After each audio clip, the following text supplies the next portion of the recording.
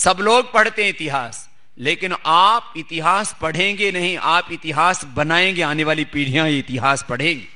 ये बड़ा सौभाग्य है। ये युग संधि का काल है, ये भागवत मुहूर्त का काल है। 2013 भी बहुत महत्वपूर्ण। मैंने कहा था पहले सब मेरी उस समय हँसी उड़ाते थे। मैं हमेशा ज्योतिष के, ये जो तथा कथित ज्योतिष, वैदिक ज्योतिष को मैं मानता हूँ। ज्योतिष के नाम पर कोई शनि चढ़ा रहा है, कोई केतु, कोई राहु, ग्रह नक्षत्र चढ़ा रहे हैं, भूत प्रेत चढ़ा रहे हैं, उतार रहे हैं।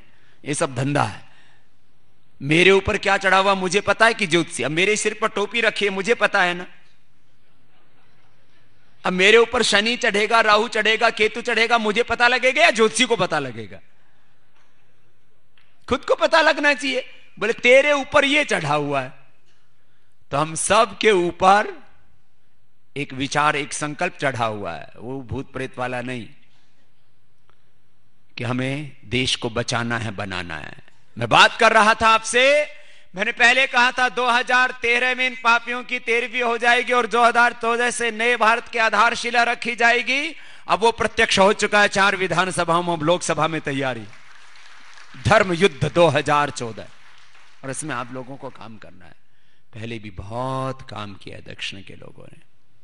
अपनी भारतीय संस्कृति का मूल है वेद। सब मेरे साथ बोलेंगे, वेदो खिला धर्म मूलम यतो अभ्युदय निश्रयस सिद्धि सधर्म। यतो धर्मस, ततो जया, सत्यमेव जयते। ये सब उद्घोष अपने ऋषियों का है, सनातन है ये।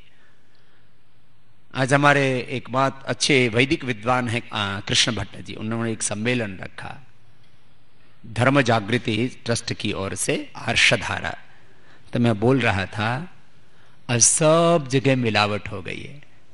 Adulteration is the biggest problem in Bharat adulteration किसमें?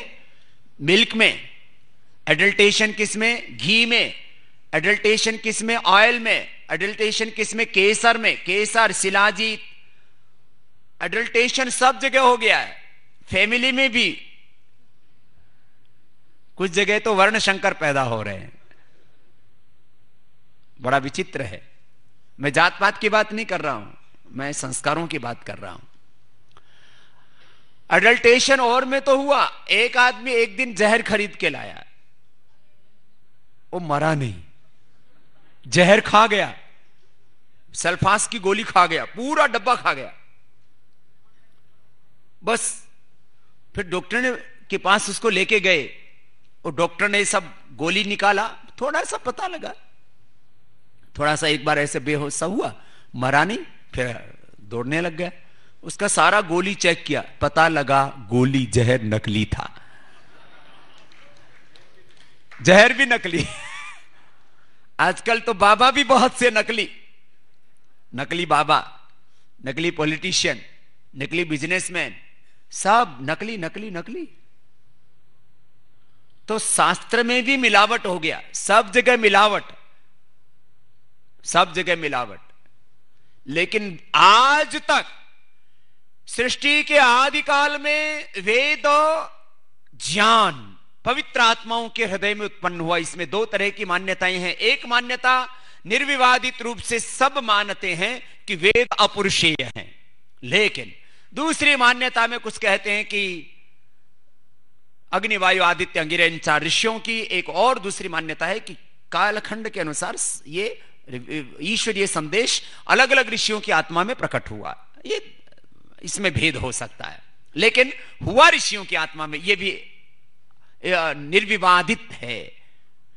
ऋषियों की आत्मा में जिस वेदों के ज्ञान का प्रकाश हुआ, वो अपुरुषीय ज्ञान, सृष्टि के आदिकाल से एक अरब छियानवे करोड़ आठ लाख तिरपन हज़ार एक सौ चौदह वर्षों से 200 करोड़ वर्षों से वो वेदों का ज्ञान यदि आज तक बिना मिलावट के सुरक्षित है तो उसमें आधुनिक भारत में हम देखते हैं तो इसमें कर्नाटक और खास करके दक्षिण भारत की बहुत बड़ी भूमिका।